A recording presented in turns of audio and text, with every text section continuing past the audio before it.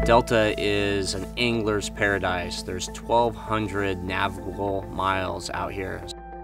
It's a never-ending learning process. You can fish out here your entire life and never fish the same water twice.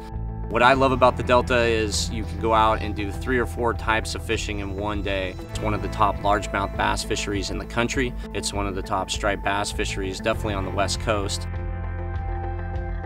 We have a ton of different fish species out here. There's never a bad time to fish the Delta. And I think it's the best fishery in California.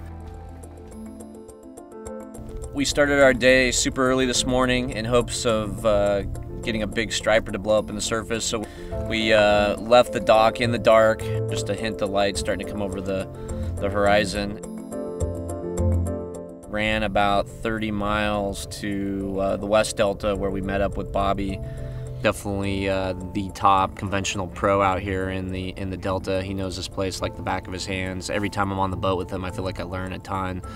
You know, I'm, I'm 50 years old now, and I've been fishing out here since I could hold a fishing pole. Um, I was pretty much, I was raised out here on, on this river.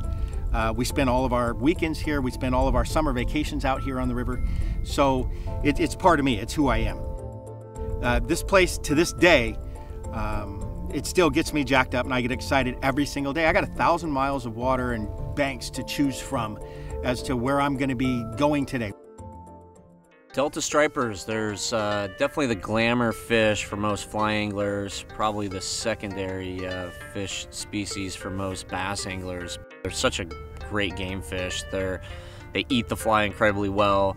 They're a shallow water fish, making them very accessible for the fly. Um, and once you hook one, they're just a fantastic fish as far as how hard they pull. They're very strong fish.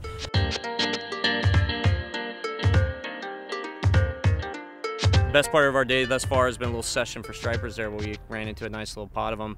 Uh, but we're still hunting for that big fish. It's, we know he's out here, and it, I think it's only a matter of time before we connect with the big one.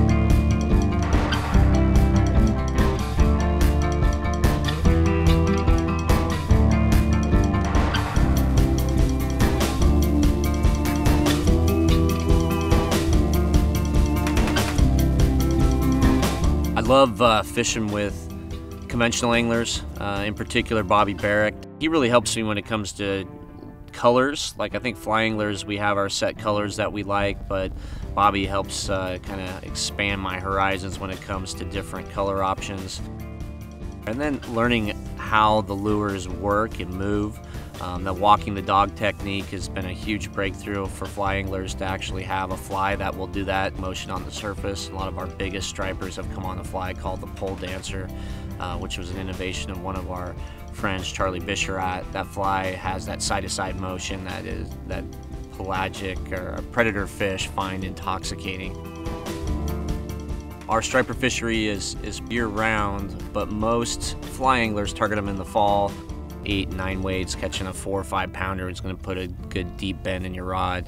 Um, and then we do see them over 10 pounds, you know, fairly often. And then the fish over 20 pounds is the ones we're all chasing. And uh, there's been a lot fewer of those in recent years, but uh, they're still out there, and that's what keeps us all going.